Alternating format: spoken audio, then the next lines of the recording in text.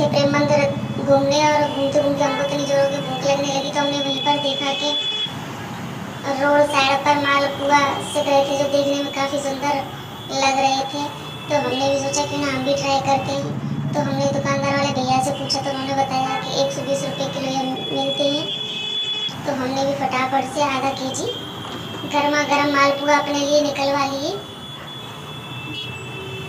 और हमको यहाँ दिख रहा है, बहुत ही टेस्टी रायता। हरी मिर्च, मालपुआ और आलू की सब्ज़ी। लो भाई, हमारे भी मालपुआ आ चुके हैं। ओहो, ये हमने की सब्ज़ी। भाई, बहुत तेज भूख लग रही है। ओहो, रायता खा गया? और रायता भी आ चुका है।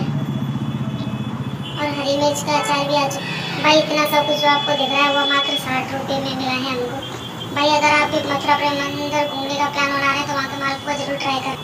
और भाई, वीडियो को लाइक और चैनल को सब्सक्राइब ज़रूर कर देना।